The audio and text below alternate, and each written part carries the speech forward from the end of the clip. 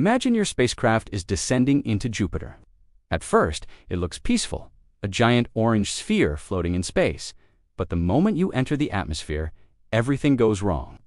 At the top layers, winds reach 300 miles per hour, tossing your ship like a toy, but you keep going. As you drop lower, the clouds thicken, pressure rises, and the temperature climbs past 1,000 degrees. Your instruments fail. The metal shell of your ship begins to weaken, keep falling, and the pressure becomes so strong it would crush a submarine like a soda can. Hydrogen gas turns into a superheated liquid, and then into metallic hydrogen, a bizarre state of matter we barely understand. There is no ground to land on, just deeper layers, more heat, more pressure, and more crushing force until your ship and everything inside it is completely destroyed. Landing on Jupiter isn't just difficult, it's physically impossible. To explore the full journey and what scientists predict would happen at each layer, watch the full breakdown on our channel.